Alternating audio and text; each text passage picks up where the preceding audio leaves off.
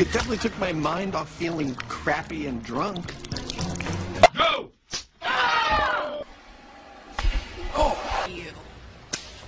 Pero mayor.